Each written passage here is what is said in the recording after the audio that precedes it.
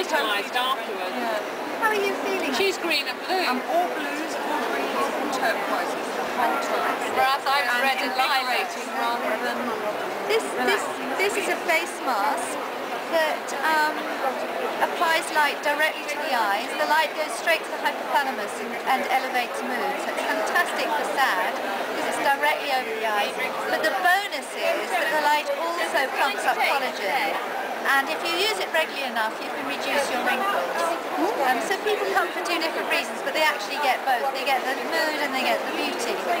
But for health, for cellular health, we then move to low-level laser. I'll just show you. This is a low-level laser unit. So this combines uh, laser lights and LED lights, but they're low powered. So this is not hot cutting dangerous laser. What light does, it transfers photons of energy, and the photons are white little bundles of, of energy, information. The cells that are sick and injured take the light, you place the light on the skin. The cells that need it take the light. You can't overdo it because if they don't need it, they ignore it. If you do use the light too much, the body cuts out. So it's not more is more, less is more.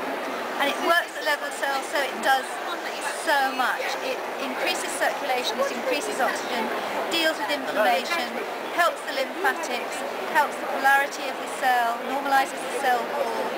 Um, it's, people say this is too good to be true, why haven't I heard of it before? Well, you will hear of it because it is the medicine of the future. It takes away pain. When you add a probe, a higher power probe, you can regenerate nerve endings and knit bones together and deal with arthritis and um, pain in joints, tendons and ligaments.